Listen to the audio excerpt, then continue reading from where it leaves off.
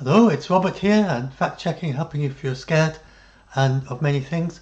And this is just something I forgot to say in my last video about the false vacuum decay. I, I mentioned taking um, blue beads out of a bag and, I, and I, I forgot to explain what that was all about. And that was when I was talking about remembering your ancestors. So if you go back and back and back and imagine that you have a bag it's got a very vast number of uh, of uh, beans in it, and and all you know is that these beans can be either blue or red, and you don't know if there are any. Um, you know they're all going. If there's a bean, any bean in there is going to be either blue or red, but you don't know if it's got any blue ones or any red ones when you first start. So you just reach in and pick out the bean and look at its color, and then you pick out another one and another one. So now, suppose you um, pick 10 beans and they're all blue. Then at that point, you will already begin to get some confidence. This is likely to be a bag of blue beans. And then now, suppose you get to a thousand. You think, well, this is looking very much like a bag of blue beans. And it seems unlikely there are many red beans in this.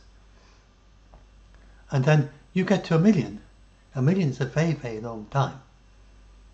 So you get to a million of these, and uh, that you, you'd have probably spent a year picking them out by then or something, unless you're doing it really quite fast. And and at that point, they're all are blue.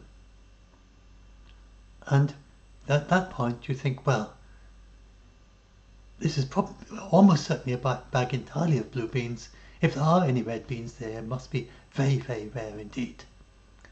And so you'll have a great deal of confidence that the next bean you, bean you pick out will be blue. And then now we've got to 13.8 million beans that you picked out and they've all been blue. So then it is completely reasonable and entirely sensible to say, okay, I expect the next bean to be blue. And this is scientific reasoning.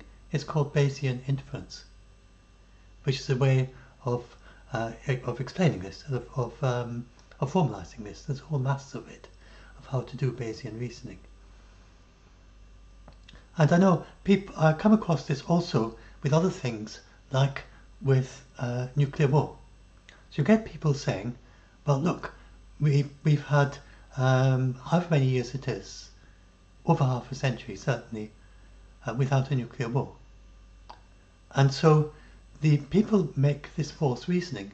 They say, okay, we've had so many years without a nuclear war, that means that we're running out of time and, and we're bound to have a nuclear war because the more time there is without a nuclear war, then that means we're, uh, we, we're, we're closer and closer to having one. That is not correct reasoning if you don't know anything else about it. all you know about each year is that there wasn't a nuclear war.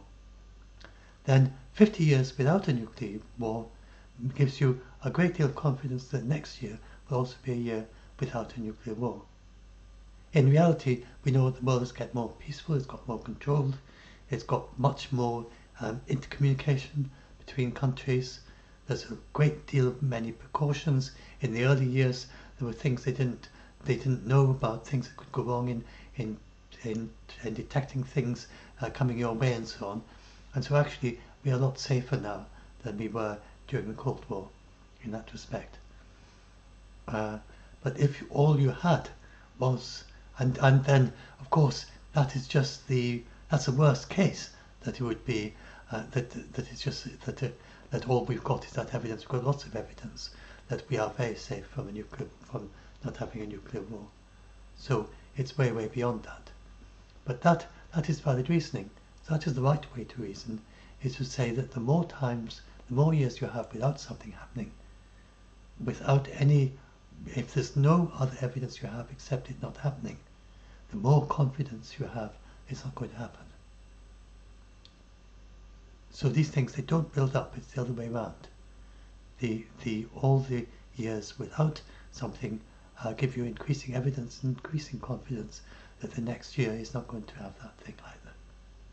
and same with all these 13.8 million millennia, then all those uh, millennia without a false vacuum decay, without the universe vanishing, that gives you a huge amount of confidence, and that is what Tommi was explaining, in it's scientifically valid reasoning, and he used this in his scientific paper, where he deduces from this that you know because certain things um, haven't happened, then we can rule out those theories, because according to them it should have happened long ago.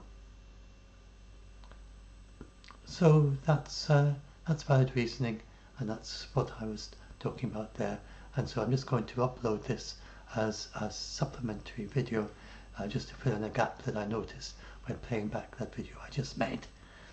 and so hopefully this, this helps you. I'll put a link to the other video. I'll put a link to this video in that one, and I'll link both of them to this uh, debunk. This, this is the fact check.